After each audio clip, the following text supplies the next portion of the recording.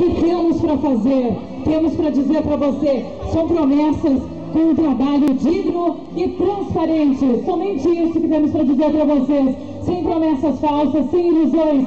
Queremos trabalhar com transparência e dignidade. E por isso eu peço hoje para você, morador aqui do bairro Bosque, e também aos demais bairros que estão, este voto de confiança, este voto de confiança que eu, Simone Melcher, estou pedindo para poder representar você na Câmara de Vereadores, falando e ouvindo vocês. Olha, quero, quero trabalhar em prol da comunidade, buscando melhorias, buscando recursos, se espelhando, pegando cidades modelos, onde a gente vê o crescimento, o desenvolvimento. E isso nós precisamos. Gente com vontade, gente com garra que queira lutar por isso. E isso é a minha promessa de trabalho. Vou lutar por vocês buscando parcerias, seja lá onde elas estiverem. Mas para isso eu preciso do teu voto. Então, 7 de outubro, eu conto com você. 7 de outubro, 15,